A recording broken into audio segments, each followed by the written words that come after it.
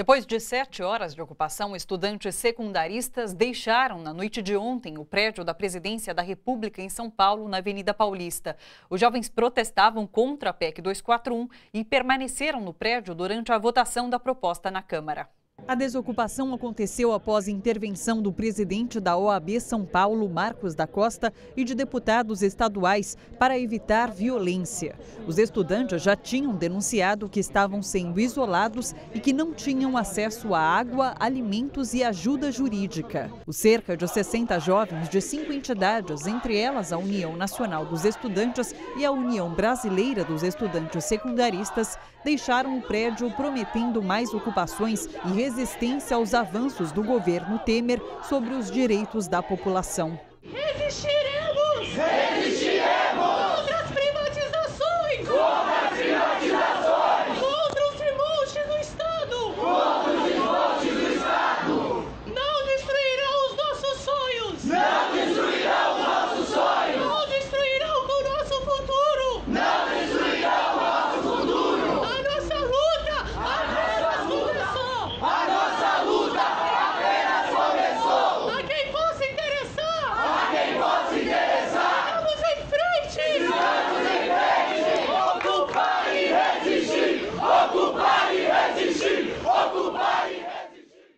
Thank you.